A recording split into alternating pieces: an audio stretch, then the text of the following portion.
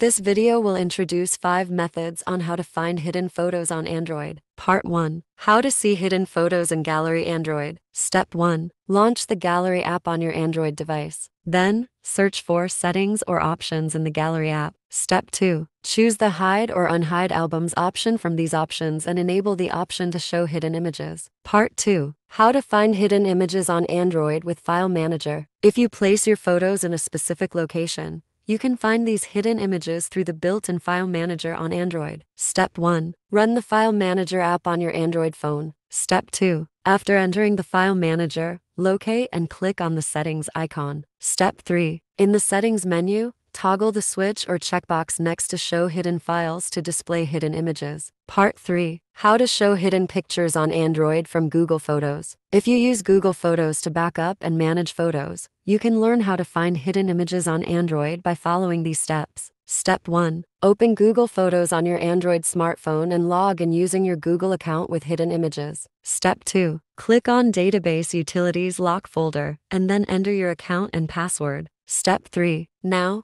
you can view the hidden photos. You can move them out of the locked folder and they will be displayed directly in Google Photos. Part 4. How to access hidden photos on Android using ES File Explorer. Step 1. Download and install the ES File Browser. Open the app and enter Settings. Step 2. Find Tools, scroll down, and enable the Show Hidden Files option. Step 3. Return to the file list and search for hidden photos. Part 5. How to view hidden photos on Android by Coolmuster Lab.Fone for Android. If all the previous methods have failed, or if you are certain that your hidden photos have been deleted, you can consider using Coolmuster Lab, phone for Android. Step 1. Download and install the software on your computer and launch it. Step 2. Connect your phone to your computer via a USB cable then turn on USB debugging on it. After a successful connection, the interface shown below will appear. Select Photos and then click Next to go to the next step. Step 4. Choose your preferred scanning method,